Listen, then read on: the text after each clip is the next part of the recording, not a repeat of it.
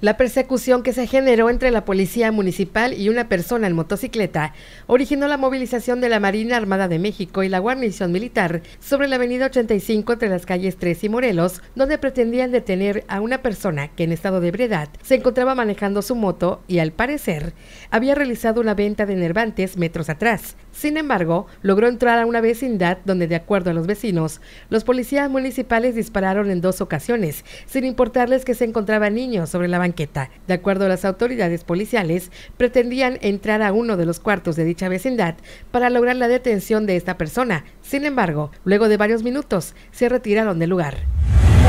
De hecho, estaba mi hija, la más pequeña, de dos años, estaba llorando y dispararon sin pensarlo. Oiga, disculpe. niños estaba mi cuñada. ¿De dónde dispararon? De ahí.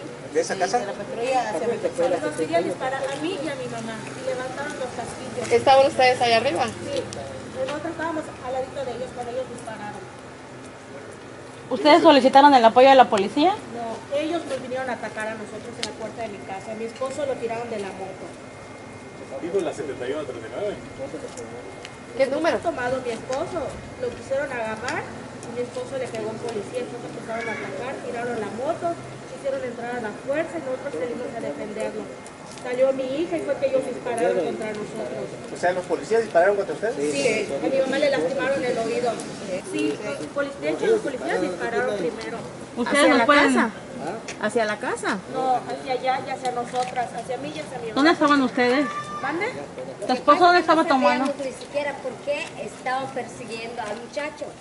Entonces nosotros como vivimos acá, unos rentamos abajo, otros viven acá, entonces nos asustamos y le abrimos al muchacho y ellos empezaron y por ayudarlo. Entonces el muchacho al defenderse se cayó ahí con la moto y, había niños jugando en el patio y los señores muy cochidos se pararon allá y empezaron y dispararon dos detonaciones. ¿Y se lo llevaron? Sí, ellos recogieron las balas que estaban ahí. No, pero el chavo. No, no, no, porque logró entrar. Ah, ok. Sí, porque había un chavo que estuvieron ahí atrás. empezó a decir de que llamaran a la marina, de que llamaran a más policías. Sí, estamos disparando nosotros, ¿sí? Y el otro, con tal de defenderse, pues sí, les, tiró, quebró un bloque y se lo aventó a policía en defensa propia. ¿El muchacho no disparó? No, no tenemos ni pistola, no tenemos nada. Ellos fueron los que dispararon. Bloques le estábamos tirando nosotros.